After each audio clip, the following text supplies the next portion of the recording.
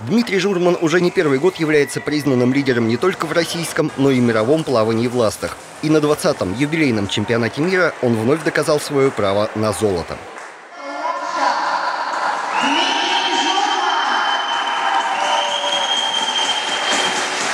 Прям явным фаворитом я себя никогда не чувствовал и не думаю, что я выйду и всех так спокойно выиграю.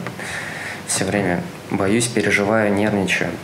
В Сербии Дмитрий завоевал два золота в эстафетах, причем вытягивая всю команду именно на последнем этапе. Также он выиграл на своей коронной дистанции 200 метров и стал вторым на сотке.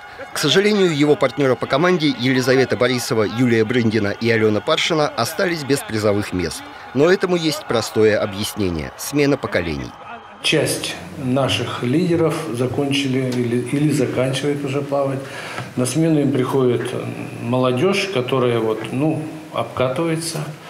Э, сказать, вот Алена Паршина э, в этом году в финале плыла и ну, сказать, как бы затвердила себя уже как один из наших лидеров. В финале переволновалась, видимо, было много мыслей в голове, и поэтому не все вышло удачно, проплыла чуть хуже, расстроилась, но есть над чем работать. Думаю, в следующем году будет лучше. Впереди у спортсменов чемпионат России, по итогам которого будет сформирована команда для участия в чемпионате Европы, который пройдет в следующем году в Турции. Ну а там и чемпионат мира не за горами. В 2020 году местом его проведения станет наш бассейн «Звездный».